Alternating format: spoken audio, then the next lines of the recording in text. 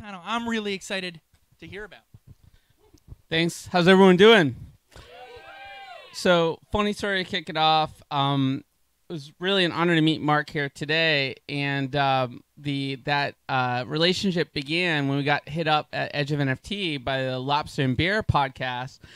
You know, it's it's fun to do collabs as a podcast, but when someone says, "Do you want to do a podcast where we send you lobster and beer and then we talk?"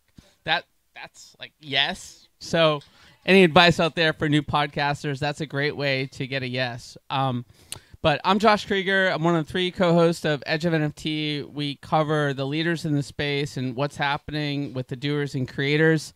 And we also host NFT LA, um, which was one of the largest uh, Web3 events on the West Coast. Um, really honored to be here today and have a really exciting conversation around style and how style is really quite different when it comes to NFTs than what you might think if you're styling your house or styling your car. There's both the technology side of it and then there's the design of it. And I have a panel coming up to the stage that really covers that whole uh, circle of, of, of style as, as it is. And um, let's bring these guys up. Let's bring up Mark and Amanda and uh, the rest of the crew. Jared and Alex, come on up. So I'm gonna get one more. Actually, you guys all sit. I'll stand. So yeah, yeah, I want to stand. I, I want to stand. Um, so, so yeah, um, each of you have done a lot of things in the space, and you're thinking about style and design and utility in your projects, and in some cases, working with other creators as well. So, I'd love it if you guys could each introduce yourself and what the world of styling means in your world. Uh, let's start with Mark.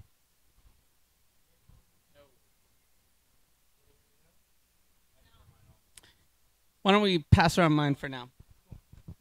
So my name is uh, Mark Murrell. I am the founder of Get Maine Lobster, which was founded in 2009, and then most recently we founded Haddie's Bay Club, uh, which is a 7,777 NFT project on the Binance chain. Hi, my name is Amanda Terry. I am co founder and chief operating officer of a company called MetaGood. Um, our mission is to empower communities to be catalysts for positive collective action. We launched an NFT collection last September called On Chain Monkey, which was thank you, thank you, thank you. I know I see some holders in the audience. Um, which was the first profile pic collection all on chain in a single transaction. So when we talk about styling, those were all coded into existence. But now we're going to be doing a, uh, a public mint on June 29th of our Karma collection, and I'll talk more about that. But that has all been worked on by a Hollywood animation team since October, and the art is sick. So I will talk more about that. Uh, my name's Alex Alpert. I'm the director of NFT Creative at One of. I'm kind of the resident, like artsy fartsy guy. I got into the space as an artist. Uh, a lot of my art in the early NFT Clubhouse days and then uh, got brought onto their team to kind of be like the liaison between the musicians and brands that one of works with and the visual artists in the NFT space. So that's kind of my specialty. Hey, my name is Jared Christopherson. I'm one of the co-founders of One of. Uh, my look of style is probably a little different than uh, this guy who is actually super talented. Uh, my background is all performance marketing, which is like data-driven user acquisition and uh, blockchain rewards programs, which I've been working on for three or four years before one of. Uh, personally, I, I rely on folks like this for style. I mean, I, I can't even tell you how many times I've been sent home from events by my co founder where he's like, Jared, go home. You got to change. This is ridiculous. Uh, so it's different take on things here. right on. You know, I, I think the thing about style that's so interesting to me is when it's there, it's there, and when it's not, it's not from a consumer perspective. And when you have that connection, that affinity to the NFT that you buy after the reveal, it's like magic, right? And so we want to sort of unpack how do we get to that magical experience, both from a technological perspective and a design perspective. Um, and I'd love to start with uh, Amanda and Mark. You guys have pretty distinctive collections. We'll talk to the one of guys after because they work with so many different artists. But um, Amanda, monkeys. Why monkeys? Uh, so it's a funny story, actually. We were originally uh, working on a different collection, which were bears. And um, we were almost ready to go. We were going to set up our Twitter, our Discord, and start marking it. And then Danny, my co-founder, who uh, has a PhD in computer science from Stanford, wicked smart, founded the Stanford Bitcoin meetup back in 2013, was just on the side, like kind of for fun, coding to see as a technical challenge, could he create a 10,000 profile pic collection? So all of the images, all of the metadata on SVG in and then launch it in a single Ethereum transaction, which is extremely secure, extremely efficient from an energy perspective. And he just launched it. So we didn't do a lot of pre-marketing or anything. He literally sent like a WhatsApp to me and Bill and said, "Hey, check this out."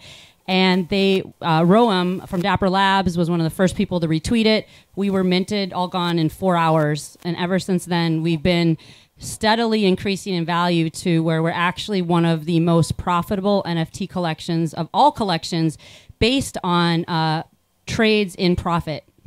I just So- want to I want to recap that is, you know, let let serendipity happen a little bit, right? Don't overthink it. I think that um, you could go through a, a normal branding process like brands do and spend hundreds of thousands of dollars in, in months and come up with a style, but sometimes things just happen organically. Um, so, uh, you know, in your case, Mark, um, obviously crustaceans are going to have something to do with whatever you're doing in the space, right? But let's break it down from an aesthetic perspective, from a visual perspective. What was some of your initial thinking how to create a collection that had some uniqueness to it, some je ne sais quoi? Yes, so we got lucky. Um, I discovered and saved a super rare lobster uh, named Haddie, and um, she's a blue and pink one in 100 million uh, lobster. And so I had a really cool basis to work from. So then we thought about assets, and I wanted at least eight assets.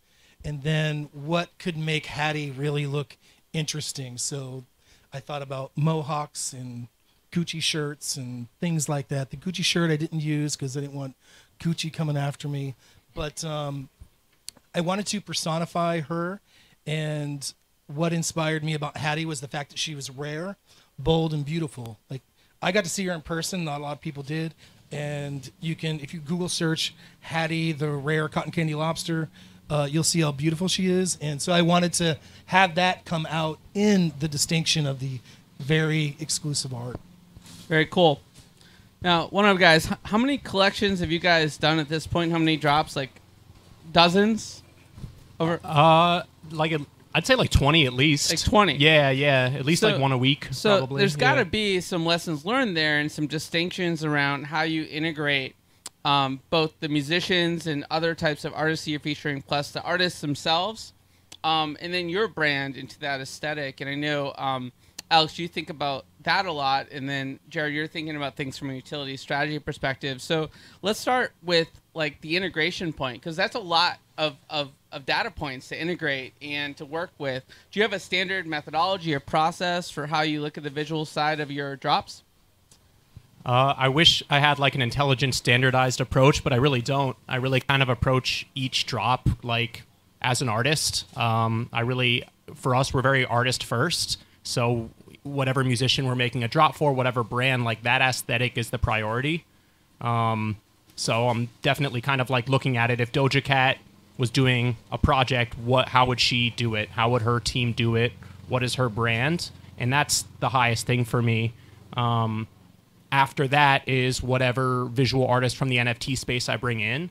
And one of my main um, focuses is like finding an NFT artist who has like a built in collector base and is like already ingratiated into the NFT space that vibes with the musician and their aesthetic. So I'm looking at each of the musicians and brands and being like, oh, you know, like one of my favorite projects we did was um, the Whitney Houston drop we did, and uh, you know it was an unrecorded Whitney Houston song. She was 17 years old, um, girl living in New Jersey, and I happen to be friendly with uh, Diana Sinclair, who's an NFT artist, 17 year old girl living in New Jersey, and like little serendipitous things like that. Um, the narrative worked really nicely, and Pat Houston um, just like really got along with Diana and it turned into this like collaborative thing. And that's really what I'm looking for. And what I love about NFTs is how it's a collaborative thing between visual artists, musicians, brands, and then after all that, um, maybe to the chagrin of some people one of like that's when one of's aesthetic comes because i again like i, I think we would all agree that like the artist and their um, project is the most important part Right on. And by the way, Jared, you're representing one of, but you also get your on-chain monkeys hat on, and I think that's the beauty of it. Is like there's an energy here that we're talking about that somehow happens when you play well with others and you start to collaborate. Um, I'm, I'm curious though what one of thinks of when it comes to the broader utility and inter- integrating utility and style together and how you guys look at your role in the ecosystem in terms of the, the technology and the utility side of the equation. Yeah, I mean, NFTs are supposed to be fun, right? It's it's like a surprise and delight experience beyond just the the the style of the NFT. And I think part of that, part of the magic there is is what happens with the community. So I mean, we're talking about on-chain monkeys here. Huge fan. Uh, I mean, it, it's really interesting, and I, I think this is kind of where the future is is headed with all these collections. Uh, like you guys have a great community too, and it's I, I think that's representative of of the future of this and, and where we're headed. And the question is like, how do you how do you really engage your community? And I, I think the way that you do that is that surprise and delight kind of the the factor there. Uh, and the way that that happens, I, I think, is utility of, of NFTs. So we're talking about the future of rewards, the future of uh, what this means, where it's like a two way street between brands and their community, uh, where by providing more uh, utility, more rewards to your uh, your backers, you also benefit yourselves as as a brand. Uh, and I think that's a really important distinction. Like right now, we're launching uh, something called One Pass, which I think we just announced, and doesn't yeah. so it's it's really starting to explore what it means uh, to hold an NFT with with utility, and I, I think we've put out uh, something that has more rewards than anything else I can name out there. There's IRL benefits. We've got 1.6 million uh, bars, restaurants, hotels, hospitality venues. You get like free champagne and discount hotels. Uh, there's also early access to drops like surprise and delight moments. Uh, meet the founders, go to dinner, uh, free NFTs. So we're just trying to stack the cards and, and see like how much we can do from a utility perspective to really engage people and and make that combine that with cool art and cool community and, and see where the future leads us yeah that's awesome congrats on that i've been checking out the emails and, and trying to dig in uh, more to what that's all about sounds really exciting so you know we've got the utility side we've got the style side and then you guys all talked about community and I think in a, in a lot of ways, the community is a new type of stakeholder in the art itself. And Amanda, you were sharing a little with me with how you guys are engaging some of your community members in the art. It made me reflect on um, someone I know in LA, or he's a world traveler now, uh, Cheetah Cowboy. And he's got this really cool aesthetic. Sometimes his hair even looks like a cheetah. And he's been integrated in a lot of projects by people that like want him part of the community. So, how have you tried to integrate um, some of your important stakeholders in your future drops? So, uh, just a couple things on that Karma collection. Actually, the whole reason that got started is one of our on-chain monkey holders is an artist designer and he did a monkey derivative that he tweeted on his personal twitter and so many on-chain monkeys follow each other. He got so many likes that we reached out to this guy and we're like hey do you want to work with us on our next collection? Because your art is incredible. And he said yes. So he came on board in october. Then he hired his boss. Then he hired two other hollywood animators basically the team behind rio Ice Age, Ferdinand. They won the Annie Award, which was one of the top animation awards. So, in terms of community engagement, it truly came organically from our community. This new Karma collection. Um, and then I guess and then you haven't yeah. really fussed with them too much. You're like, let the artists do the art, right? Like, Yeah, like we- just let them go.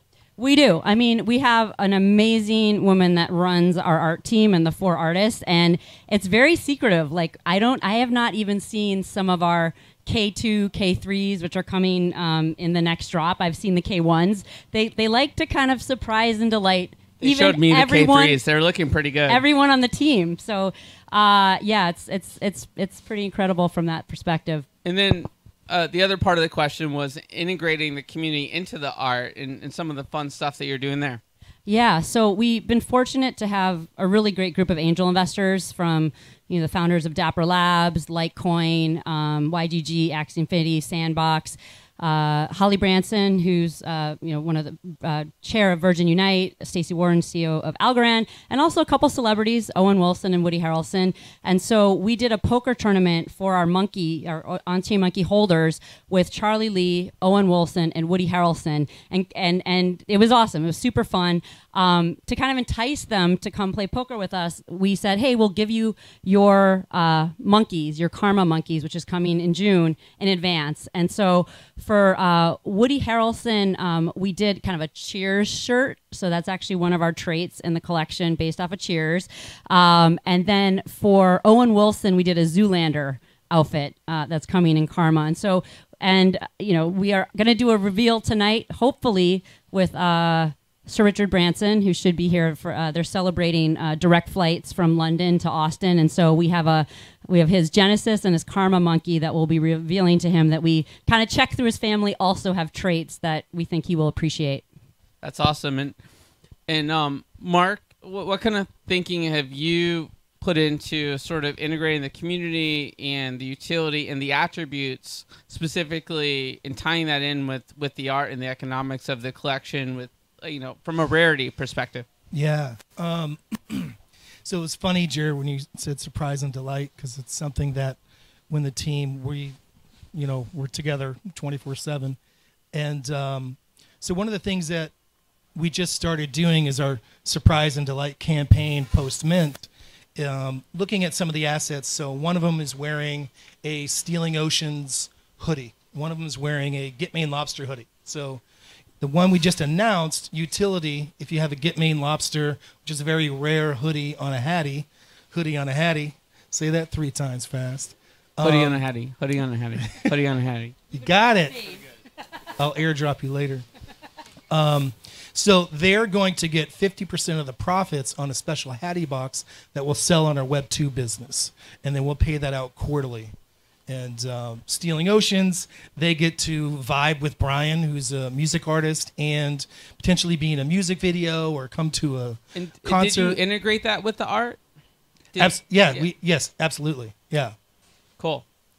Alex, what what about you, man? Um, as you're as you're starting to refine the tokenomics of different NFTs, and you guys have different levels of, of rarity, um, how does that influence the art?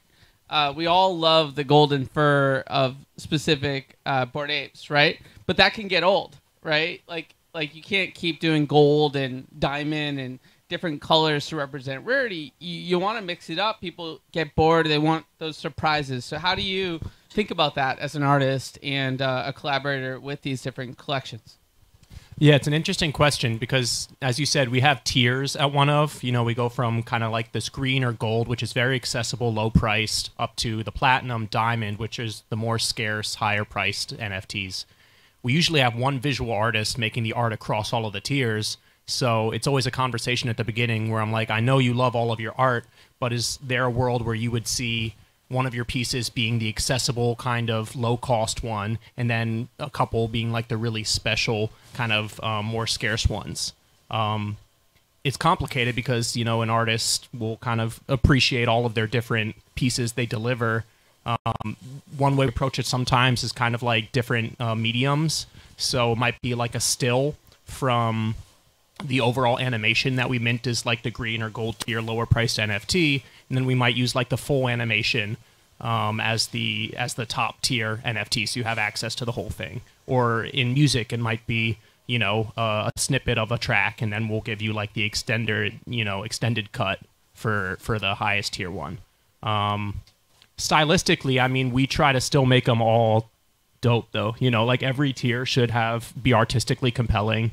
Every tier should have like something to offer and a narrative behind it. Yeah, you don't want to feel shortchanged if you don't decide to get as rare of a one, or if they're all equal, for example, for other collections. If you happen to get one that's not as rare, if it has like a feeling or energy to it, then you're more likely to enjoy it, right? Some people dig the lower tier ones because they just it resonates with them, and that's you know a, a victory because that's when people are actually connecting with the artwork. You know. So one trend I've seen, um, you know, from the show and some of the projects we've had on is a little bit of randomness around the rarity and rarities that you don't actually know what's going to happen next, secret rarities, things like that. Do you guys all think about that? I'm just kind of curious how how that sort of influences things. Like it could be like maybe an earring on an NFT that you know looks completely normal but has superpowers, right? Any thoughts there? Um, we didn't really plan it, but you know, if you look in rarity tools, it's not fully correct. But there are some like little idiosyncrasies that our community loves. Uh, Charlie Lee, the creator of Litecoin, is uh, investor, and he has gone deep and bought a lot of on-chain monkey. And he happens to love the naked monkeys, which are literally no clothes. You can see nipples. I just said that in a panel uh, on open and and those like for some reason even though they're not the rarest people love the ones with no clothes. So that's one. Another one just happened to be that uh, Danny Yang and I think Bill both have clothes 26 which is a certain color clothing with a color pocket. And that has now become like the company uniform. And so people are like really love clothes 26 even though that's not the rarest trait so there are we didn't plan it but there are definitely kind of quirky fun cultural things that have come across uh, over time I think if you were launching that collection, Austin, everyone would go for the ones without clothes, for sure. Um, but that's great, and I think that's an important point. Is um, you know create the opportunity again for for magic and serendipity and mystery and intrigue. Um, this has been really interesting. I've learned a lot. I'd love to sort of pass it around one last time for any closing thoughts on style and also um, how folks can kind of learn more about what you're doing in the space and, and track you. Let's kick it off with Mark. Um, kind of piggybacking on what you said, because the art generation process was super interesting, and then to see the mints come in and see the community's excitement about their combination or lack of combination, and um, having eight assets and seven thousand seven hundred seventy-seven is it's kind of a neat process. So we're just as much a part of like being a having a holder's feeling uh, as they are, which is is kind of a cool. As a founder, uh, I really appreciate that feeling. Awesome. And Mark, how can people keep track of, of Haddie's and, and what you're up to in the space? So Twitter at Haddie's Bay Club, H A D D I E S Bay Club, and uh, we're on Telegram, Discord, you know, Instagram, all that jazz. Awesome.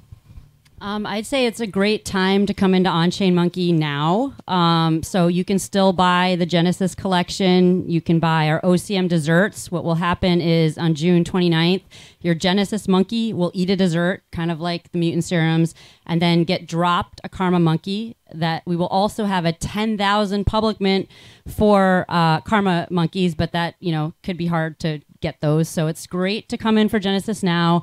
Otherwise, our Karma Mint on the 29th. Uh, I would say, in terms of following us, we are uh, like Discord, Twitter fanatics. So on chain at on chain monkey, uh, and then that's on Twitter, Discord, um, or come talk to me. Uh, I'd love to to talk to you guys more. Um, just keep supporting artists. You know, like this space has changed the lives of so many artists, digital artists early on, and soon to be musicians um, at, at, one of and other platforms. So just like keep supporting people in the arts, um, buy their NFTs. There's so many exciting things happening with the tech in terms of utility and applications, and that's amazing. But I think there's still always going to be a place where it's uh, art on the blockchain, and that's what I'm passionate about. So yeah, just keep uh, supporting that.